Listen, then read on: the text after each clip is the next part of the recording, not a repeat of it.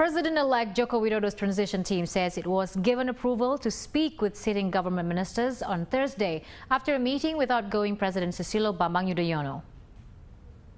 Joko and SBY met in Bali to discuss changes to the draft 2015 state budget. A proposed spending plan, Joko has said, will be hampered by ballooning energy subsidies. The deputy head of Joko's faction at the House of Representatives says he was not yet briefed on the final points of the meeting, but says the economy was the main topic of discussion.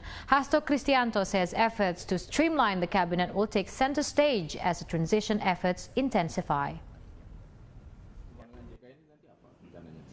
Ya, hasil pentingnya adalah bahwa memang kita Pak Presiden SBY sudah menyatakan ini tradisi baru dan mari kita mulai bersama-sama untuk itu kepada kantor tim transisi dipimpin Pak Jokowi JK dipersilahkan untuk membuka komunikasi secara formal dengan jajaran uh, kementerian Bapak